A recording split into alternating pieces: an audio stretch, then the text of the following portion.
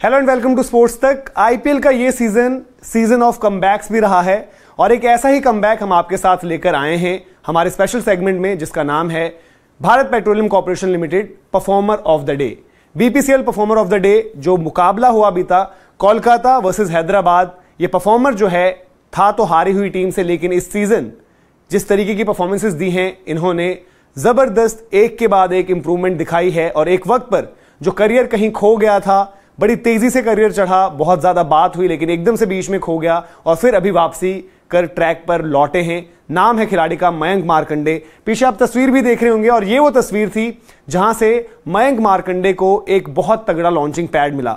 Mahendra Singh Dhoni LBW की appeal है ये, जो on field umpire not out देते हैं। रिव्यू लिया जाता है और फिर ये पाया जाता है कि महेंद्र सिंह धोनी आउट हैं। मयंक मार्कंडे 2018 के आईपीएल ओपनर में तीन विकेटें ले आते हैं चेन्नई के अगेंस्ट अगला मुकाबला होता है, उसमें चार विकटें ले आते हैं। अपने दो शुरुआती मुकाबलों में सात विकटें ले आते हैं वो, और उनके बारे में बहुत ज़्यादा बात होने लगती है। और मुंबई इंडियंस की स्काउटिंग की बहुत तारीफ़ होती है। सचिन तेंदुलकर से लेकर रोहित शर्मा तक उस सीज़न में सबने इनकी तारीफ़ करी, और पूरे सीज़न में देखेंगे आप तो परफॉर्मेंसेज भी अच्छी रही। 2018 में ज़बरदस्त परफॉर्मेंसेज आई देन 2019 में इनका इंडिया डेब्यू भी हो गया। भारत के लिए सिर्फ़ एक मुकाबला खेला। 24 फरवरी की तारीख ऑस्ट्रेलिया सामने थी और उस मुकाबले में भारत की तरफ़ से सबसे महँगे स्पिनर रहे थे और उसके बाद मानो मयंक मार्कंडे कहीं खो से गए 2019 निकल गया 2020 निकल गया 2021 निकल गया 2022 निकल गया और शायद इसी तरीके से 2023 भी निकल जाता। इस बीच मुंबई से राजस्थान में गए, राजस्थान से वापस मुंबई में गए और फिर इस सीज़न जो हैं, लौटते हैं सनराइजर्स हैदराबाद में। जिस वक्त पर ये आए थे, इनकी बॉलिंग को लेकर बड़ी बात हुई, और स्पेशली इनकी गुगलीज जिस पर इन्होंने महेंद्र सिंह धोनी को भी आउट किया ये सेलिब्रेशन भी आप देख रहे हैं, और अब ये हैदराबाद की तरफ़ है। सनराइजर्स हैदराबाद ने भी स्टार्ट मयंक मार्कंडे से नहीं किया था। बावजूद उसके कि इस सीज़न उनकी डोमेस्टिक में परफॉर्मेंसेज अच्छी रही। फ़र्स्ट क्लास क्रिकेट भी अब खेल रहे हैं, और शायद वो पहलू इनको काम आ रहा है। गेम पर और ज़्यादा काम किया है, जो सिर्फ़ मयंक मार्कंडे पहले गूगलीज के लिए जाने जाते थे, अब गेंद में जो है वेरिएशंस अपनी ऐड करी हैं। साथ ही साथ लेग ब्रेक्स पर भी इन्होंने काम किया और वो इस सीज़न में दिख भी रहा है। और इस सीज़न सनराइजर्स हैदराबाद ने शुरुआती दो मुकाबले तो नहीं खिलाए, लेकिन उसके बाद जब मयंक मार्कंडे अभी तक खेले हैं तो अगर आप स्पिनर्स की बात करेंगे, जिन्होंने दस या उससे ऊपर ओवर्स डाले हैं, उसमें सबसे ज़्यादा इकोनॉमिकल रहे हैं। तकरीबन साढ़े छह की इकोनॉमी एक स्पिनर के लिए मिडिल ओवर्स के फ़ेज़ में सबसे शानदार गेंदबाजी करी है, और ये वही गेंदबाज हैं जो हम कह रहे हैं कि बीच में खो गए थे। इसलिए ये जो कहानी है कम की, ये औरों से अलग है। ये अजिंक्य रहाने की तरह कोई कहानी नहीं है कि जिन्होंने आए, शुरुआत करी, एक बड़ा बड़ा नाम भी हुआ, भारत की कप्तानी भी करी और फिर एकदम से कम बैक किया है। ये अमित मिश्रा की तरह कोई कहानी नहीं है जिन्होंने बहुत ज़्यादा सक्सेस देखा, फिर सबने सोचा कि ये खत्म हो चुके ना ही पीयूष चावला जैसे, बल्कि एक यंगस्टर की कहानी है, जो शायद कहीं खोसा गया था, जिससे बहुत ज़्यादा उम्मीदें थी इंडियन क्रिकेट को भी, और बीच में रास्ता भटक सा गया था, रास्ता नज़र भी नहीं आ रहा था, मौके भी उस तरीके से नहीं मिलते थे, लेकिन अब सनराइजर्स हैदराबाद, जो एक टीम स्ट्रगल कर रही है उसमें एक शाइनिंग लाइट के तौर पर मयंक मार्कंडे तो इस सीज़न मयंक मार्कंडे ने आखिर किया क्या है? इतनी बड़ी बड़ी हम बातें क्यों कर रहे हैं? क्या सिर्फ़ हम बातों की वजह से कर रहे हैं कि जी वापस करते हुए अच्छा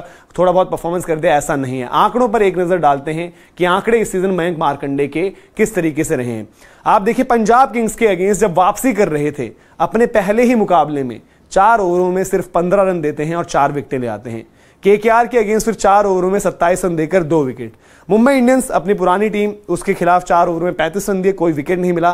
फिर चेन्नई सुपर किंग्स के अगेंस्ट चार ओवरों में सिर्फ़ तेईस रन और दो आउट वहाँ पर भी किए। डेली कैपिटल्स के खिलाफ भी थोड़े से महँगे रहे, चार ओवर, चौंतीस रन, कोई विकेट नहीं। डेली कैपिटल्स के साथ जो अगला मुकाबला हुआ, रिवर्स फिक्चर उसमें इन्होंने अपनी परफॉर्मेंस भी रिवर्स कर दी और चार ओवरों में सिर्फ़ बीस रन देकर दो आउट किए। ज़बरदस्त परफॉर्मेंस फिर जो हम मुकाबले की बात कर रहे हैं, चार ओवर उनतीस रन और एक विकेट कोलकाता नाइट राइडर्स के अगेंस्ट। और इसमें इन्होंने करी जो हम बात करते हैं और एक्सपेक्ट करते हैं एक रिस्क विनर से, दिलेर गेंदबाजी। आंद्रे रसल ने आकर इनको अटैक किया और आंद्रे रसल इनको अटैक करना चाह रहे थे, इनके पीछे पड़ गए थे। बट इन्होंने उतनी ही समझदारी से और चालाकी दिखाते हुए एक फ्लाइटेड बॉल जो है आउटसाइड ऑफ़ डाली। रसल फिर शॉट मारने गए और वहाँ पर कैच आउट हो गए।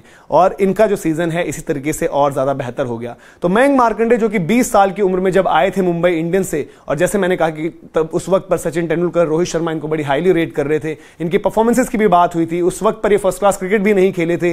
अंडर ट्वेंटी उस तरीके से मुकाबले खेल रहे थे और साथ ही साथ पंजाब में धीरे धीरे परफॉर्मेंसेस देते हुए आगे बढ़ रहे थे। बट देन उसके बाद एक साल के बाद ही तुरंत गायब से हो गए थे। अगले सीज़न में मुंबई इंडियंस ने राहुल चहर के ऊपर ज़्यादा भरोसा दिखाया। उसके बाद राजस्थान रॉयल्स भी जब गए तो वहाँ पर भी मौके उस तरीके से नहीं मिले। तो पहले सीज़न के बाद अगर आप देखेंगे आईपीएल में भी इन्हें उतने ज़्यादा मौके नहीं मिले। तो अपने आप में एक एडिड प्रेशर लेकर आ रहे थे, लेकिन यहाँ पर मयंक मारकंडे ने वापस जो है ज़बरदस्त गेंदबाजी करी और उस गेंदबाजी से वापस अपना नाम भी बना रहे हैं। जहाँ पर हम देख रहे हैं कि चाहे वो युजवेंद्र चहल, कुलदीप यादव, इंडिया खेलने वाले स्पिनर्स उस तरीके से गेंदबाजी नहीं कर रहे एडम जैम्पा भी थोड़ी सी मिक्स परफॉर्मेंस कम मुकाबले खेले बट थोड़े महँगे भी रहे। वहीं पर मयंक मारकंडे ने सबसे इकोनॉमिकल सबसे किफायती और सबसे इफ़ेक्टिव गेंदबाजी अब तक करी है। एक ऐसी टीम में रहते हुए जो अदरवाइज़ स्ट्रगल कर रही है। शायद आप गेंदबाजों में पिक करें तो मयंक मारकंडे का नाम होगा और बल्लेबाजी में पिक करें तो हेनरिक क्लासन हेनरिक क्लासन की कहानी भी हमने आपको एक दिन पहले बताई थी किस तरीके से बहुत ज़्यादा अंडर है। अगर आप कभी underrated T twenty eleven बनाएँगे all time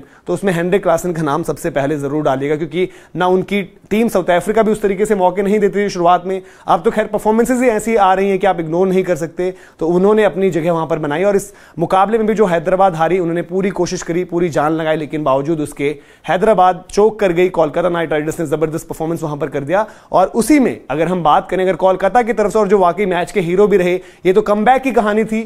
BPCL performer of the day में मयंक मारकंडे बट अगर इस मुकाबले से हम लेकर आएँगे कि Bharat petroleum corporation limited performer of the day उस तरीके से जिन्होंने मैच बनाया, जिताया, वो कौन थे? तो वो थे वरुण चक्रवर्ती, जिन्होंने जब आखिर में तीस गेंदों पर अड़तीस रन चाहिए थे, वहाँ पर 18 गेंदें डाली, यानी कि तीन ओवर्स डाले, और उनके उन 18 गेंदों में बल्ले से सिर्फ़ और सिर्फ़ आठ रन आए थे। आखिरी ओवर भी डाला, जहाँ पर सिर्फ़ उनको नौ रन डिफेंड करने थे, और वो काम भी उन्होंने बखूबी किया, और अपनी टीम को ज़िंदा रखा आईपीएल में अदरवाइज़ कोलकाता नाइट राइडर्स की छुट्टी हो जाती। और अब सेम सिचुएशन में सनराइजर्स हैदराबाद है। तो वरुण चक्रवर्ती, मयंक मारकंडे, दो स्पिनर्स जिनके अराउंड हम मिस्ट्री की भी बात करते हैं। और वरुण चक्रवर्ती का भी बीता सीज़न बहुत बुरा गया था, लेकिन उन्होंने भी एक कम किया है। मयंक मारकंडे को मौके ही नहीं मिल रहे थे, उन्होंने भी ज़बरदस्त कम किया है। तो ये कम की जो कहानी थी, वो एक तरीके से थी हमारी BPCL performer of the day जो हम आप तक देकर आए। ऐसे हर मुकाबले के बाद ऐसी कहानी आप तक पहुंचाते रहेंगे। तो आप इसी तरीके से प्यार देते रहिए। अगर आपको पसंद आ रहा हो तो कॉमेंट सेक्शन में ज़रूर बताएँ। किसी और खिलाड़ी की आप कहानी चाहते हो, वो भी हमें बताएँ। वीडियो को लाइक और शेयर ज़रूर करें अपने दोस्तों के साथ, क्योंकि जब एक यंगस्टर इस तरीके से परफॉर्म कर रहा हो, वापसी कर रहा हो तो उसे सिर्फ़ अपनी टीम में ही सपोर्ट की ज़रूरत नहीं होती, बल्कि जो क्रिकेट के फैंस भी हैं, उनको भी ज़रूरत है कि इस वक्त पर मयंक मारकंडे का सपोर्ट करें और इसी तरीके से उनका करियर जो है वापस ट्रैक पर आए। इस वीडियो में इतना ही, अभी आपसे इजाज़त लेते हैं। बहुत बहुत शुक्रिया।